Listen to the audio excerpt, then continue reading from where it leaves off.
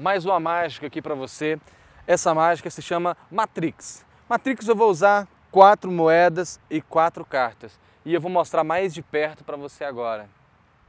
Então vamos lá, Matrix, quatro cartas e quatro moedas aqui. Eu vou deixar aqui uma, duas, três, quatro. Quatro, quatro moedas aqui.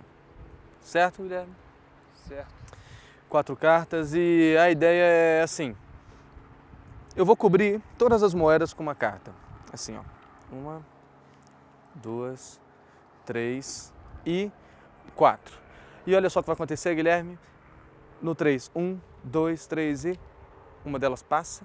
Aqui, outra moeda, um, dois, três e a outra também passa. E a última moeda eu faço aqui, hum, e aí ela, ela some, ela passa. Já passou, ela está lá do outro lado. Esse é o Matrix, uma mágica Muito com bom, muito bom. quatro moedas e quatro cartas.